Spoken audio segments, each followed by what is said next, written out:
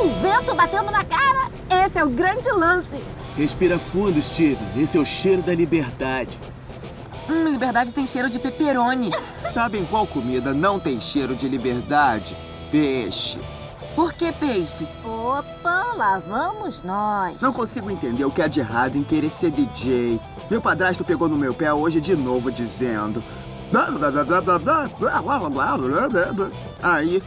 Pelo menos ele te enche por uma coisa só. Meu pai fala mal de cada coisa que eu faço porque eu sou filho do prefeito. Qual é? Vocês estão reclamando de barriga cheia. Não fazem nenhuma ideia do que é coisa ruim porque vocês não têm uma irmã. Ah, família é difícil mesmo. Pois É. é.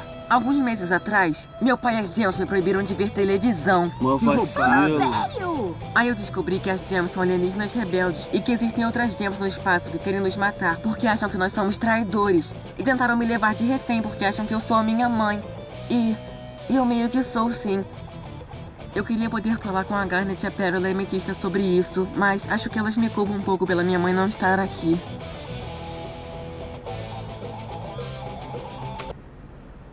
Isso aí é sério.